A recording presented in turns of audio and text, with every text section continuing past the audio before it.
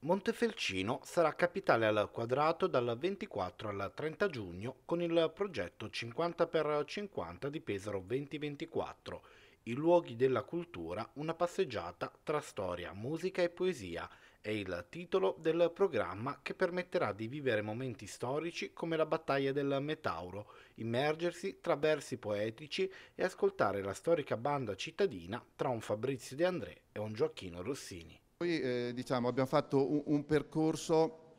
che,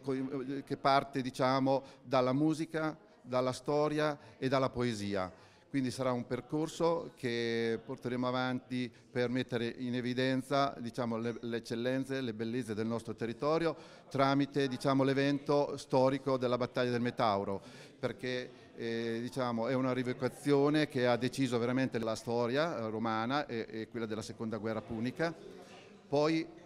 come dicevo prima, musica, musica perché eh, quest'anno festeggeremo i 110 anni della nostra banda cittadina musicale e quindi apriremo la nostra settimana con un concerto oh, del nostro corpo bandistico. E poi poesia, perché eh, a Montefelcino abbiamo una nostra poetessa che ha avuto molti riconoscimenti sia nazionali e intercontinentali, l'ultimo anno scorso eh, dal comune di Francavilla Dete come Orgoglio delle Marche e quindi in onore diciamo, eh,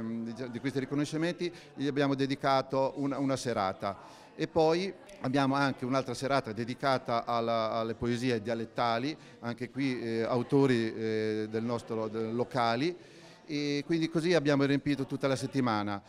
Se si parla di storia a Montefelcino è doveroso fare un salto indietro nel tempo fino alla seconda guerra punica, arrivando così alla battaglia del Metauro tra i romani e le truppe cartaginesi guidate da Asdrubale. Da qui dunque la volontà di una rievocazione storica come mai prima d'ora. È uno spettacolo unico nel suo genere,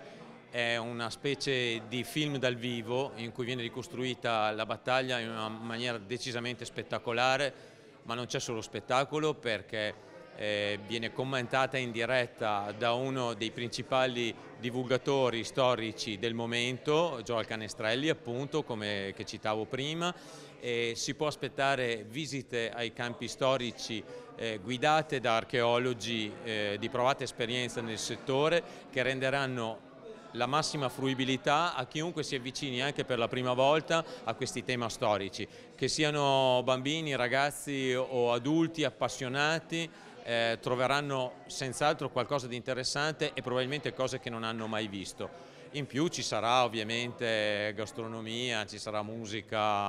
a corredo dell'evento, eh, ci saranno appunto queste attività didattiche, ci sarà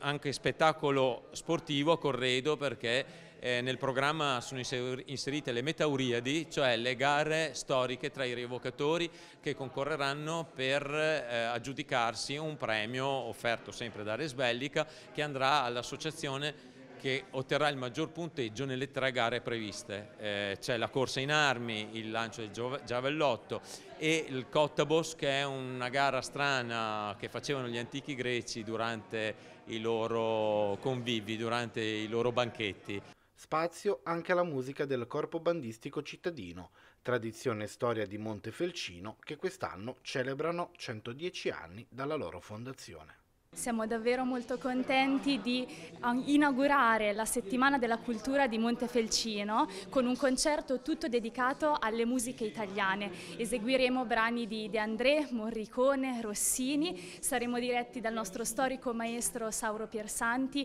e faremo quindi un viaggio musicale tra epoche e repertori. Inoltre in questo evento andremo a presentare anche la Junior Band della banda musicale cittadina di Montefelcino, un progetto nuovo di musica d'insieme che riguarda i nostri ragazzi che frequentano il corso bandistico.